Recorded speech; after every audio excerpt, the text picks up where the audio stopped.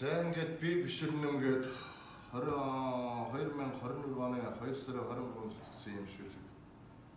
Тэгээд энэ дээр би бас нэг өөрийнхөө бодсноо бас сайхан одоо дуу хийхээр ингээд шинэ уран бүтээл төрж байна. Тэгээд энэ уран бүтээлээ та бүхэндээ хүргье. Thank you.